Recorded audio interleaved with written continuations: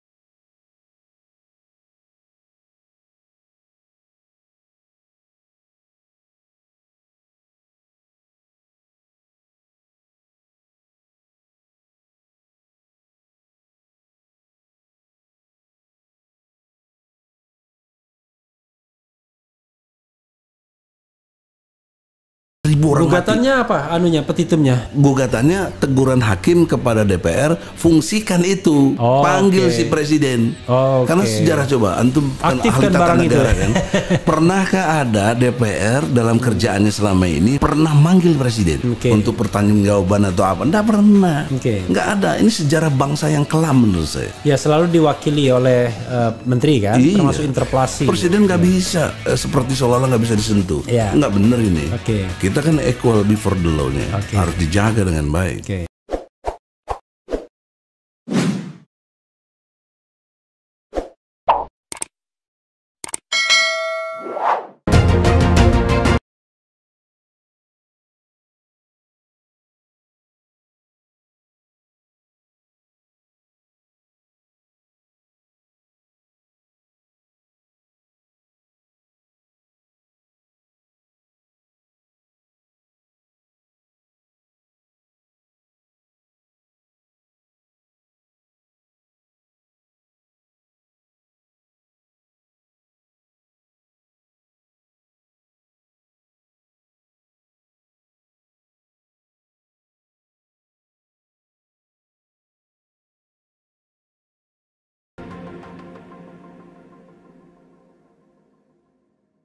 Dalam konteks gugatan ini, studi kiranya kita bisa menyadari bersama ya. Oke. Kapasitas presiden dalam konteks ini yang terhormat ya Joko Widodo se- saya menilai tidak punya kapasitas gitu. Karena saya udah uji, bukan saya omong kosong, bukan nuduh-nuduh, nggak berani datang. Kalau dia jenderal sebagai presiden yang punya empat tugas pokok, tugas pokok presiden itu empat. Satu, mensejahterakan seluruh rakyat Indonesia. Oke. Kedua, mencerdaskan kehidupan bangsa. Ketiga, menjaga tumpah darah Oke. seluruh rakyat Indonesia. yang Melindungi, keempat, melindungi ya. ah, melindungi. Yang keempatnya, politik bebas aktif Iya. untuk menjaga perdamaian dunia. Oke. Dalam konteks empat tugas pokok itu, itu semuanya disfungsional gitu loh. Hmm, Oke. Nah, persoalan serius berikutnya kenapa juga DPR cicing wae kok malah ngikutin kebijakan yang ada. Cicing Wai itu apa bahasa Sunda? Bahasa Sunda diam aja. Oh dia mas, saya bukan orang Sunda soalnya. Orang mana? orang Sumatera, Sumatera. Palembang, Palembang. Oh, oh itu galuh, kita, galuh, wong galuh, kita galuh, gilo, galuh gitu. wong kita galau, wong kita galau. Nah itu, jadi dalam perspektif itu, Oke. pada tempatnya lah hukum ini yang belum pernah diuji. Saya yang kedua, pemikiran saya tentang trias politika, Oke. yaitu mengenai eksekutif, Sambil minum bang ya? ya apa-apa eksekutif, legislatif dan yudikatif. Ya. Yang saya perankan dalam konteks gugatan eksekutif presiden, legislatifnya DPR. Nah, bagaimana cara saya nguji yudikatif? Ya bawa ini ke pengadilan. Iya. Kalau kita negeri kita mengklaim negara kita negara hukum, Supreme Court kita itulah pengadilan itulah tertinggi, nggak bisa diganggu gugat. Presiden pun harus tunduk dengan hukum. Nah oleh karena itu eh, format antara teori dan praktek dari tiga pintu tadi, perdata pidana dan tata negara itu ketemu. Ah buktinya kita diterima di pengadilan, dilayani sampai mediasi dan lain sebagainya, tapi mediasi gagal total. Karena tuntutan dari kita dalam pengertian kepada perbuatan tercela, kalau dikaitkan dengan Nah, perdata, ini perbuatan melawan hukum tapi konstruksinya perbuatan tercela. Iya konstruknya itu Oke. Dan kita sudah bikin 66 Lebih Oke. malah Kalau banyak nama-nama yang terbaru-terbaru Misalnya 11 ribu triliun Oke. Hmm. Ada di kantongku Dan itu terpisah dengan yang di luar negeri Oke. Kalau aku mau tinggal aku keluarkan aja kan Hmm. Mana Kok malah ngutang gitu loh Kan logiknya nggak jalan gitu loh 11 ribu itu maksudnya jumlah utang akhir pemerintahan. Kalau Kan menurut ka- kata orang kan ekonomi. 10 ribu Iya, 10 ribu tapi kan Dia lebih dikit ya Lebih dikit. Masya Allah Lebih dikit. Lebih beban berat lagi buat Lebih kita optimis maksudnya itu. Lebih berat lagi Karena yang bayar kita lewat pajak kan Oke.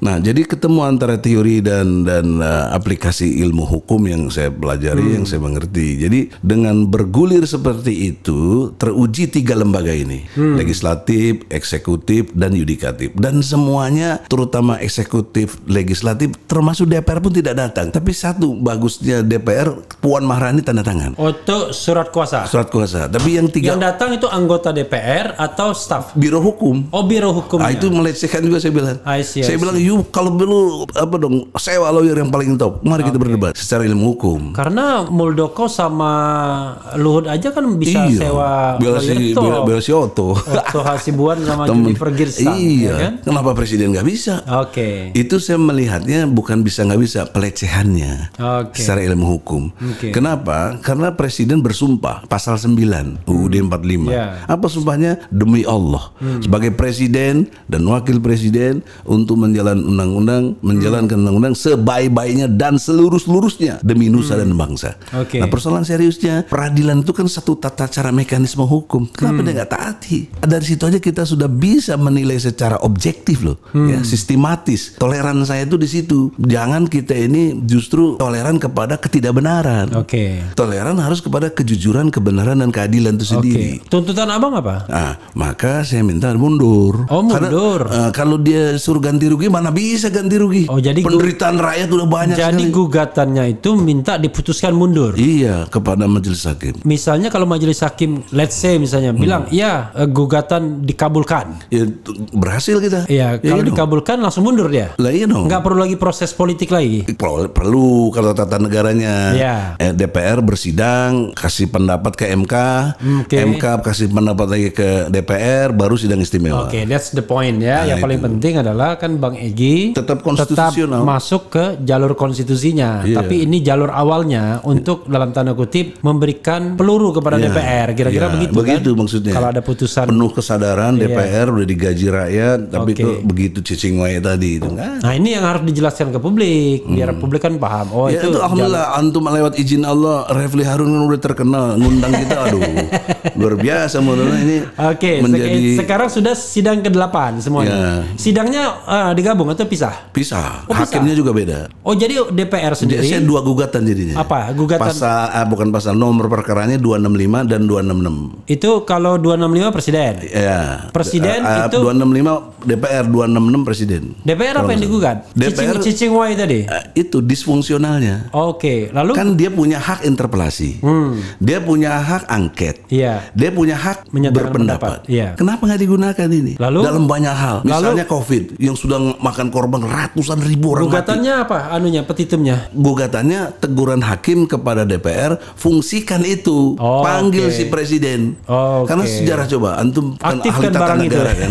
Pernahkah ada DPR dalam kerjaannya selama ini pernah manggil presiden Oke. untuk pertanggungjawaban atau apa? Enggak pernah. Oke. Nggak ada. Ini sejarah bangsa yang kelam menurut saya. Ya selalu diwakili oleh eh, menteri kan, Iya. termasuk interpelasi. Presiden nggak bisa eh, seperti seolah-olah nggak bisa disentuh. Iya. Nggak bener ini. Oke. Kita kan equal before the law-nya. Oke. Harus dijaga dengan baik. Oke. Jadi kasusnya itu sendiri kalau DPR sudah sampai tadi? Kalau DPR sudah sampai ini apa nunggu jawaban mereka. Kita Oke. sudah baca gugatan. Ba- Baru baca gugatan. Baru baca gugatan kemarin. Oh, jadi baca gugatan Ya. belum eksepsi. Belum. Nah, Oke. tergantung nanti apakah eksepsinya diterima atau enggak. Oke. Tapi Kalau saya wanti-wanti kepada hakim, jangan masuk angin gitu loh. oh, kalau ini kalau presiden tadi? Presiden tadi eh, duplik. Oh, berarti eksepsi diterima? Eh, eh nggak diterima? Belum, belum dibicarakan. Makanya besok itu apakah pembuktian Iya. ya sebelum masuk situ atau eh, mereka langsung terima. Saya duga kalau hakimnya masuk angin ya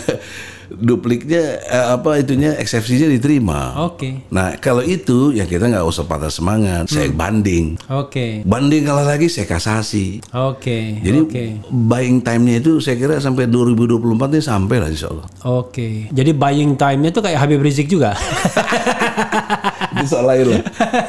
Ini kan soal Jadi, presiden. satu buying time untuk brother, putusan. Se-Indonesia tidak bermaksud saya merasa lebih baik ya. Nggak ada yang menegur presiden secara serius Iya. seperti ini. Nggak Oke. ada. Kalau ini kan ukurannya jelas. Saya mesti punya alat bukti, saya mesti punya saksi. Nggak boleh asal ngomong. Hmm. Kalau politisi-politisi nah asal ngomong aja jeblak begini-begini.